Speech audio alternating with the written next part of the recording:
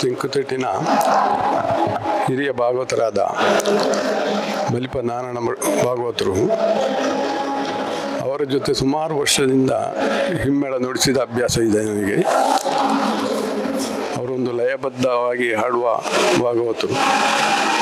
ಹಳೆಯ ಕ್ರಮ ಅಂದರೆ ಅವರದ್ದು ಒಂದು ಪರಂಪರೆಯೇ ಬೇರೆ, ಬಲಿಪರ ಕ್ರಮ, ಪರಂಪರೆಯೇ ಬೇರೆ.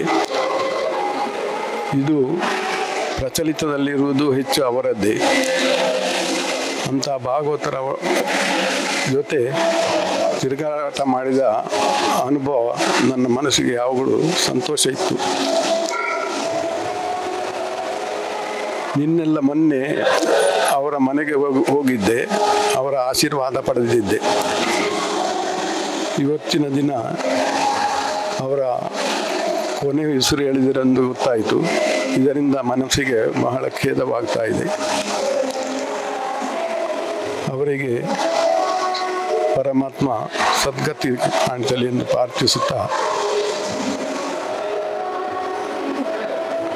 ವಿರಮಿಸುತ್ತೇನೆ.